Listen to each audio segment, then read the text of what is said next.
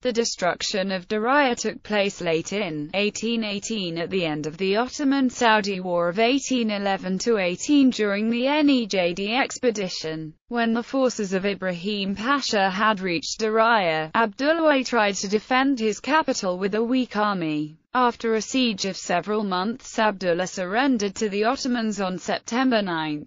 Abdullah was made prisoner and with his treasurer and secretary was taken to Cairo. Later Abdullah was sent to Istanbul, where, in spite of Ibrahim's promise of safety and of Muhammad Ali's intercession in his favor, he was put to death. At the close of the year 1819 Ibrahim returned to Cairo, having subdued all opposition in the Arabian Peninsula, ending the Ottoman-Saudi War, and starting his duty with the Ottomans against the Greek revolt.